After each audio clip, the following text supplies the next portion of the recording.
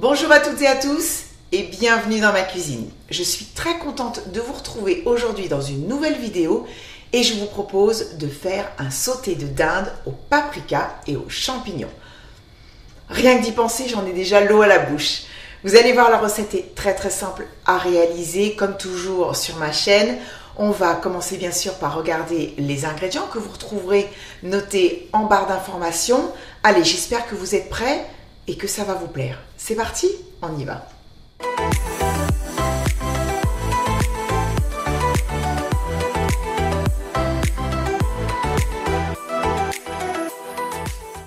Alors, j'ai besoin de 4 belles escalopes de dinde, d'échalotes, de champignons de Paris, de paprika doux. Alors moi, j'ai également du paprika fumé, donc je vais en utiliser, mais si vous n'en avez pas, ce n'est pas grave du concentré de tomate, de l'huile, du vin blanc, de la crème fraîche épaisse, du sel et du poivre. Première étape de la recette, je vais commencer par couper ma dinde en lamelles. je ne vais pas faire des lamelles trop longues, donc je vais couper mon escalope en deux. Voilà, donc en fait, dans ce style-là. Allez, je poursuis et je vous retrouve dès que j'ai terminé.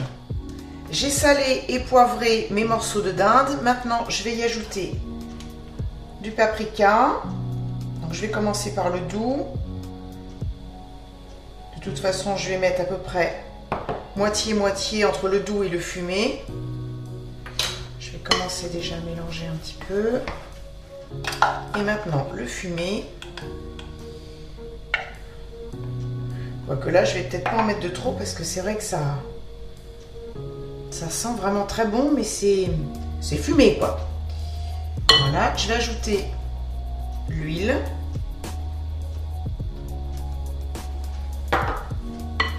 Et je mélange bien le tout pour que chaque morceau de dinde soit bien enrobé de paprika. du coup, comme j'ai pas mis de paprika fumé, je vais rajouter un peu de paprika doux.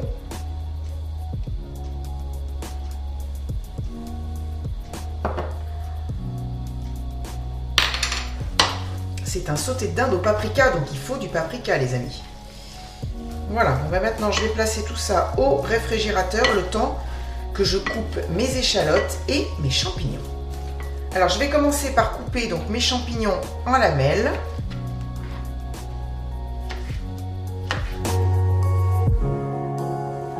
Et maintenant, je vais émincer mes échalotes finement.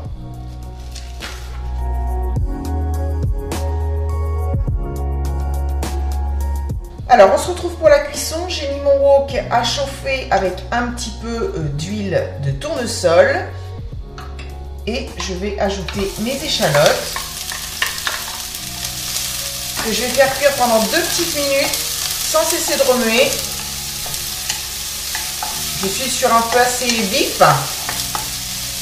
Alors bien sûr, si vous n'avez pas de wok, hein, vous pouvez faire euh, la recette dans une grande poêle, il hein, n'y a pas de souci. Voilà, je vais ajouter maintenant mes champignons.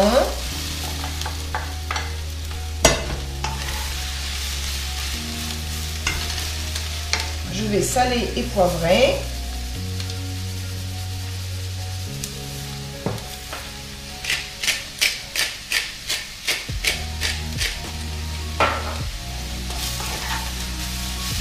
Mélange bien. Je vais faire cuire ça quelques minutes en fait pour que les champignons puissent rendre leur eau. Voilà, bah écoutez, ça me paraît bien, ça a pris 3-4 minutes. Je vais débarrasser mes champignons et on va faire cuire ensuite la dinde. Voilà, donc j'ai juste passé un petit papier d'essuie-tout en fait pour enlever euh, les petits résidus d'échalotes qu'il y avait dans le wok. Et maintenant, je vais faire dorer ma viande. Alors, je vais faire en deux fois parce qu'il y en a quand même pas mal. Donc, j'ai pas rajouté d'huile puisqu'il y avait de l'huile dans la marinade. Donc là, je suis sur feu vif. Et je vais faire dorer ma viande pendant environ 3 minutes. Je vais la débarrasser et je ferai la deuxième moitié ensuite.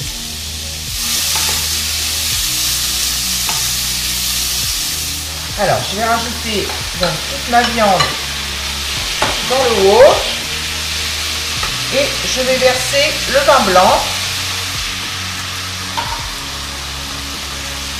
Voilà, que je vais bien laisser bouillir comme ça pendant deux petites minutes. Voilà, comme je dis toujours, hein, le vin blanc, ça reste euh, facultatif si vous ne voulez pas mettre d'alcool dans votre plat. Mais bon là, l'alcool va s'évaporer puisque c'est en train de bouillir.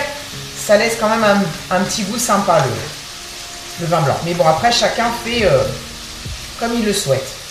Voilà, donc maintenant, je vais mettre tous les ingrédients qui restent à ajouter. Donc mon mélange champignons échalotes, le concentré de tomate, et puis la crème fraîche.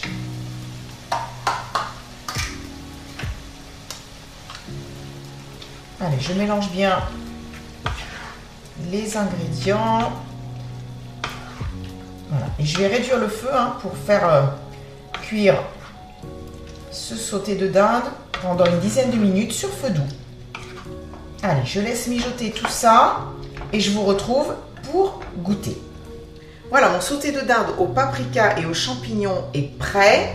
Euh, vous pourrez bien sûr euh, manger ce plat avec le féculent de votre choix. Ça peut être bien sûr du riz, des pâtes, euh, des pommes de terre vapeur, de la purée, ce que vous voulez. moi, je pense que je vais faire du riz. Mais d'abord, il va falloir que je goûte cette merveille et que je vous dise ce que j'en pense.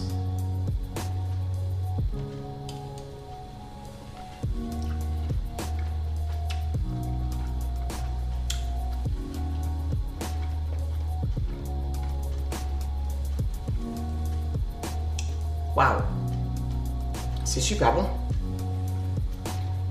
J'adore ce genre de plat. En sauce comme ça. Très simple.